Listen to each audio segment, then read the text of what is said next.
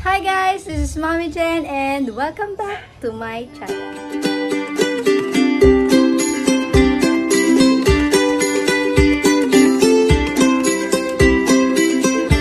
So in this video, we'll be talking about the propagation of the fiddle leaf fig tree. And yes, of course, we all know that fiddle leaf fig tree are pricey plants in the plant shop. And hindi po natin ito basta-basta nabibili ng uh, hundreds lamang or kasi ito yung mga price po it range from uh, 1,000 and up. Depende po sa laki ng mga fiddle fig tree. And the question po ngayon kung kaya ba nating buhayin ang ating fiddle fig tree sa atin lamang bahay or do it yourself no So, pwede po ba sa lupa or sa water? So, now po, ang pipiliin po natin ay propagation sa water. So, as you can see mga kamami, I already had my fiddle fig tree. Ayan po, kung makikita nyo, meron siyang mga roots. So, as you can see, the roots are coming beautifully. So, ang ganda po ng mga roots niya. Um, mga 2 weeks ko na po itong na ilagay po sa tubig. So, kung gusto niyo pong malaman kung paano po ito uh, tumubo at kung paano po ginawa, So, let's see. As you can see mga kamami, mga, meron po tayo dito mga fiddle fig tree na cuttings po.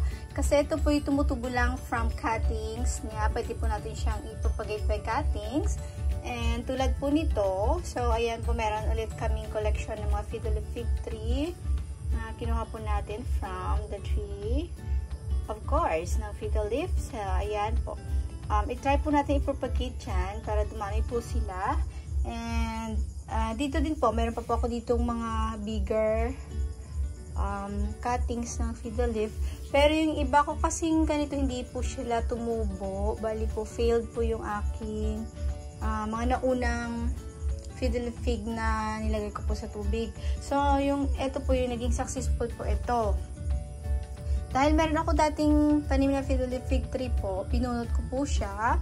Um, tapos, akala ko kasi wala na po siyang gamot na nakatanim po dito, binunot ko yon And then, nang binunot ko na po, meron palang roots. Saka binalik ko ulit, pero hindi na po siya naging successful. Nagkaroon lang siya ng kunting dahon. And then, after po, namatay na po siya ulit. Ito fig tree na ready na po natin itanim.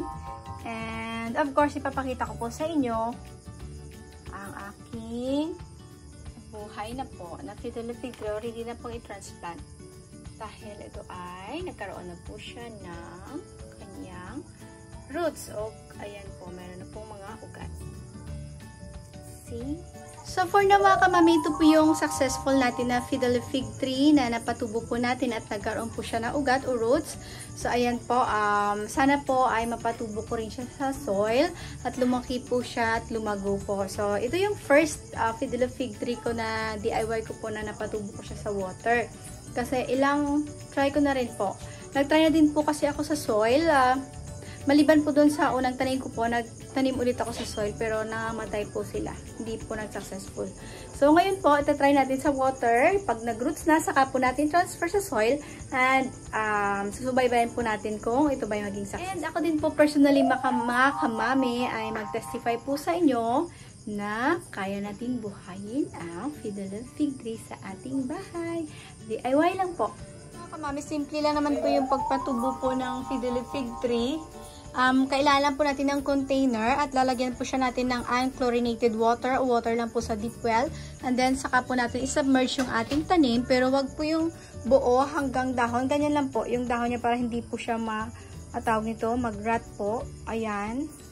Po siya mga kamami. Ayan po. Kung makikita nyo yung um, dapat hindi nakasubmerge yung leaves po sa, sa water po para hindi po mag-rot yung leaves po ng ating fig fig tree. So, ayan po, ganyan lang. So, make sure natin na hindi po siya na-submerge lahat, pati yung dahon niya po, para po may chance po siyang tumubo.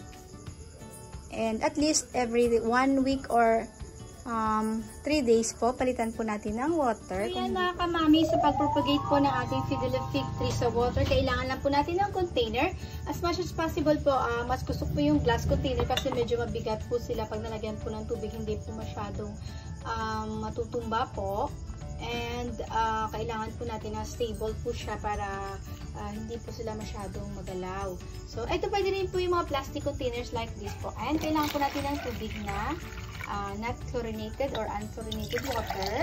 So, depende po yan. Ayan. Huwag po natin masyadong punuin. Depende po dun sa ating ilalagay na fidelifig um, tree cutting. So, depende po yun sa atin. So, ayan mga kamami.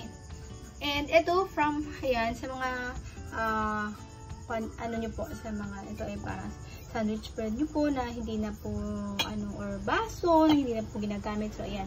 And then, ilalagay lang po natin ito.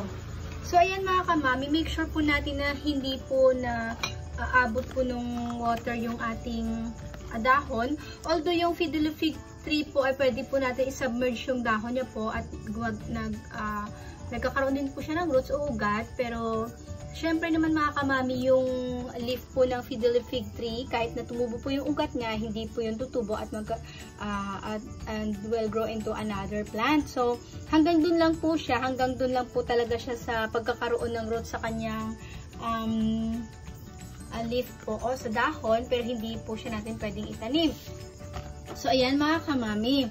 And yung iba po ilagay din natin. So ayan po lang kung makikita nyo, sabi ko nga kanina na hindi po dapat natin i-submerge lahat para hindi po ma uh, madaling marat yung ating tanim po. And ito din po yung iba. So, ito yung isa. Tapos paglagay po natin doon, na make sure lang natin hindi po sila natutumba. And ito po ilalagay din natin iba dito. So pwede po natin gawing dalawa sa dyan basta nakabalance lang po sila. And nakasubmerge lang po talaga yung uh, dulo po ng um, fiddle fig cuttings natin. Ayan, like that po mga kamami. So ito ay ano lang po, um, DIY lang po natin sa bahay. Kaya uh, hayaan nyo na po pag hindi masyado perfect. Ang importante po ay nagawa po natin na uh, mapropagate natin yung ating fiddle fig tree na hindi na po natin kailangan bumili pa po ng mahal po, masyadong mahal po sa plant shop or sa mga flower shop na binibilhan po natin ng ating mga plants. So, ayan mga kamami, ayan, make sure po natin na balance po siya. And, ayan po. So, ayan, kung makikita nyo, nakasubmerge na po yung dulo po ng uh, cuttings o branch po ng maliit na fig tree. So, pinili ko po itong mga maliliit kasi uh, mas malaki po yung possibilities na ito ay um, lalaki po sila kasi dun sa mga bigger na medyo hindi po ano healthy at uns unsteady po yung ano nila, madali pong mamatay. So, ayan, ganyan lang po kasi mga kamami. So yan mga kamami, sinasabi ko nga na make sure natin na hindi totally submerge yung ating plants or yung cutting po natin o cuttings po ng ating uh, fiddle fig tree dito sa ating container. So ayan po, kung makikita nyo, ayan lang yung nakasubmerge lang po yung dulo lang po ng ating cuttings. And hayaan lang po natin na ilagay po sa gilid at, at as much as possible, wag po natin i-touch or um, hindi po siya dapat magalaw para hindi po ma ano yung pag uh, tubo po nila ng kanila. Tapos na po natin yung isa, yung isa po nating container, nilagyan po natin ng tatlong um, cuttings po ng fiddle fig tree. Sana po ay tumubo sila. Ito naman po dagdagan natin ng isa pa po kasi uh, para mabalance naman po yung kanyang side uh, ng um, ating container po. Ayan. Dagdagan po natin ng isa. Dapat masubmerge po natin dulo po uh, makainom po ng tubig yung dulo ng ating cuttings. Ayan. Ang balance po kasi ito kaya kailangan po natin lagyan siya ng isang branch po para balance. Para like that po, hindi po sila gagalaw. Nakasubmerge lang yung dulo po ng ating fig. Kamami, tapos na po natin yung ating um, dalawang container na mayroong um, um, overall ay 5 pieces po na fiddle branches or cuttings po. And ito naman po yung isa. Ganda po ng dahon niya. Ayan. So, ayan. Dagdagan na lang natin ng tubig pag hindi po, uh, hindi po abot. Kailangan po natin dagdagan ng tubig. Bali, tayo na po ang mag adjust Hindi po yung ating fiddle fig tree. Charot! Charot lang mga kamami. Ay, kulang pa. Kung kulang, dagdagan natin pero wag natin sobrahan okay lang po yung uh, tama lang, sakto lang. Huwag naman sobra. So, ayan mga kamami. Ayan po. Nasubmerge na po natin yung kanyang um, ilalim ng cuttings po. Ayan. So, ganyan yung perfect lang. Dito mga kamami, ah, lagay lang po natin dito sa ating storage. Yan, masikip na po yung storage ko. So, lagay natin sa dulo na hindi po siya matouch. Kasi inaabot kasi ito minsan ng aking pamangkin. Kaya, naano niyo po ito. Iba ko pong cactus plants ay mamatay na. So, yan. Lagay natin ito. Yan. So, dyan lang po siya. Hindi po siya masyadong na-touch. And, ah, tahimik lang po yan. Ayan. Tulad po ng isa, yun lang din po. Lalagay din natin dito. Ayan. So, and ayusin natin yung ating pagkalagay nito. Baka po masubmerge na pati yung dahon. Kasi pag nasubmerge po yung dahon, um, na-observe ko po na uh, nangamatay po yung iba. Observe ko siya. Masyado siyang madali pong marapen yung ating fidelifig tree. So, ayan. Na-unbalance kasi yung dahon na kasi. Ayan, siya. Lagyan natin ng isa para mabalance po sila. Ayan. And, syempre, kailangan din natin itabi ito. Ito yung isang Phalaenopsis ko na matay na po. So, dito natin muna ilalagay temporary yung ating fiddly fig tree.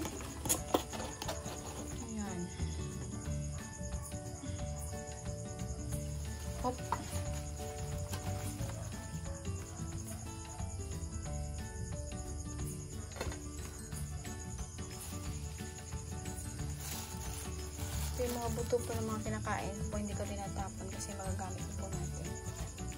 Tatalim natin yan. Ayan po, ayan po. Dinagdagan ko yung water para masubmerge po yung branch po ng ating fiddle fig tree o yung kanyang cuttings. So, ayan na po. So far, andyan na po sila. Meron pa po tayong maliliit na fiddle fig tree. Ito. Yung mga maliliit kasi nakakatakot. Masubmerge pati yung kanilang dahon po. Ayan.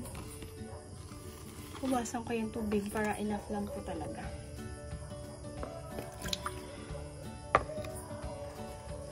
Yan, mga mga sirang anong mga kamag, pwede po siyang ilagay. Yan po. So, itong maliit, ilagay lang natin dito sa water.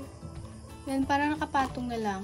Para hindi po masubmerge talaga yung dahon nila. Ah, medyo marami pa. So, konti lang talaga ng tubig. Yan. Put down. Ayan po. Ayan. Konti lang po. Sana po mabuhay natin ito mga kamami. Tulad po nung isang tree natin na successful po yung ating experiment. Ayan, dana po. So, ito na yung last natin. Ayan na din, nakasubmerge na. And, make sure natin na hindi po masubmerge yung kanyang dahon. As much as possible. Ayan. Medyo bawasan pa natin ang tubig.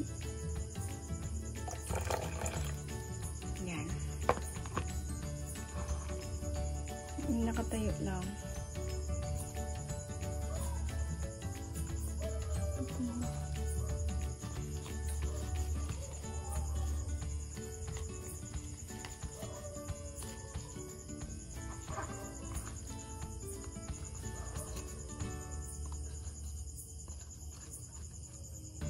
So, okay na po. Ayan.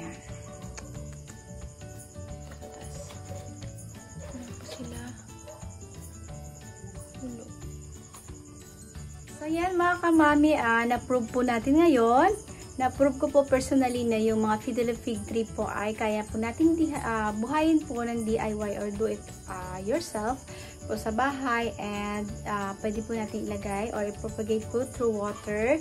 And ayan po na nagawa po natin sa ating unang fiddle fig tree.